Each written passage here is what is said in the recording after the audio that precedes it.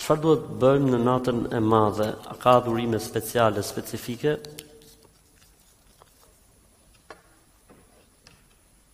Nata që kaloi, nata e 15 të muajit Shaban, Është një natë për cilën ka transmetim të saktë nga pejgamberi sallallahu alajhi wasallam që thotë Allahu i mbikëqyr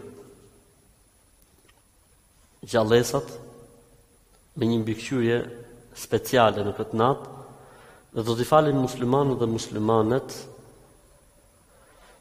nëse nuk kanë rënë në idhujtari dhe nëse në zemrat e tyre nuk ka mëri për të tjerët.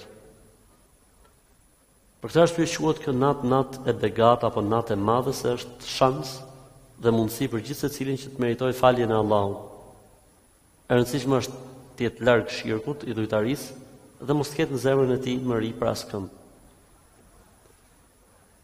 A ka diçka speciale që duhet vepruar në këtë natë prej adhurimeve, për shembull bëjmë agjërim të bëjmë namaz të veçantë, shtojmë namazin, shtojmë Kur'anin, apo të bëjmë diçka që është më e veçantë, nuk ka transmetim nga pejgamberi sallallahu alajhi wasallam. Është një hadith nga Aliu radhiyallahu anhu, por është hadith i shpikur, pra meudu. Që kur të jetë nata e mesit të Shabanit, shto namazin, shto agjërimin, gjitha këto janë pa argument. Pra s'ka transmetim të saktë.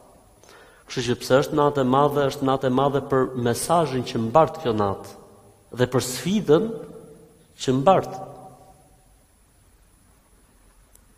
Dhe jo që të kthehet në një natë ritesh apo adhurimesh të veçanta apo speciale, pasi nuk ka argument për këtë punë.